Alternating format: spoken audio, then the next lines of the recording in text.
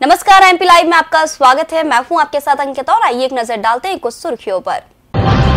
भारतीय प्रेस परिषद के अध्यक्ष न्यायाधीश जस्टिस चंद्रमौली कुमार प्रसाद और परिषद के सदस्यों ने होटल पलाश में आज विभिन्न प्रकरणों में की सुनवाई।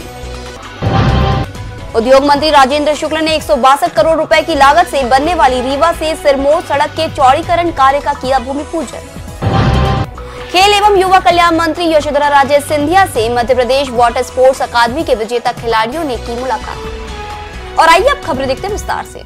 मुख्यमंत्री शिवराज सिंह चौहान से soybean processors association of India Mandal and industry के प्रतिनिधि मंडल ने आज भेंट की और सोयाबीन निर्यात को प्रोत्साहित करने की पहल के लिए आभार ज्ञापित किया। प्रतिनिधियों ने बताया कि मुख्यमंत्री के प्रयासों से केंद्र सरकार ने सोयाबीन निर्यात पर प्रोत्साहन सात प्रतिशत से बढ़ाकर दस प्रतिशत करने की कार्रवाई रिकॉर्ड समय में की है। इससे सोयाबीन उद्योग में नए उत्साह और निर्यात संभावनाओं का संचार हुआ है।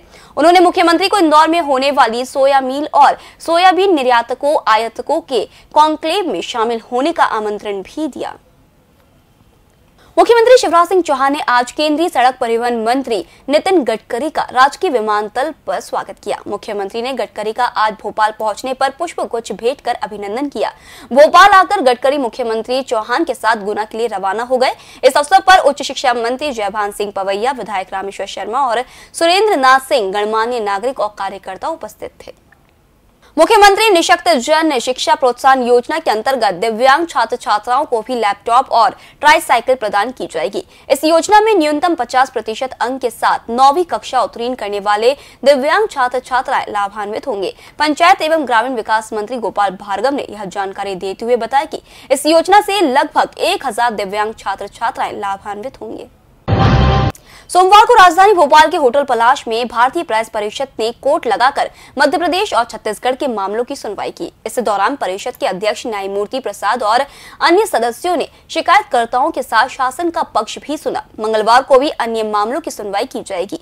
गौरतलब है की भारतीय प्रेस परिषद पाठकों, समाचार पत्रों और पीड़ित पक्ष द्वारा की गई शिकायतों की सुनवाई अब उन्हीं राज्यों में जाकर कर रही है। मुख्यमंत्री जन कल्याण योजना 2018 में पंजीकृत श्रमिकों के मासिक बिलों को सरल करने के लिए सरल बिजली बिल स्कीम और बीपीएल उपभोक्ताओं की मुख्यमंत्री बकाया बिजली बिल माफ़ी स्कीम में अब तक इकहत्तर लाख से अधिक हितग्राहियों का पंजीयन हो चुका है। इनमें से 24 लाख से अधिक का पंजीयन सरल बिजली बिल और सैतालीस लाख से अधिक पंजीयन बकाया बिजली बिल माफ़ी स्कीम में हुए हैं। दोनों योजनाएँ एक जुलाई से लागू हुई है। पंजीयन के लिए प्रदेश के सभी जिलों में विद्युत वितरण कंपनियों द्वारा शिविर लगाए जा रहे हैं।